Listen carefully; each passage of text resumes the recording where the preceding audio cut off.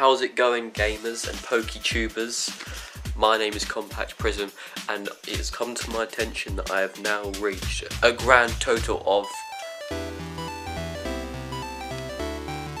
five subscribers.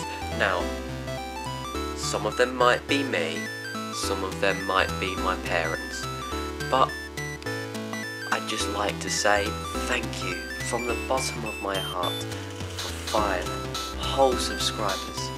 It really means a lot. So I think I'm gonna have a little montage of like the best moments on this channel, okay? So yeah.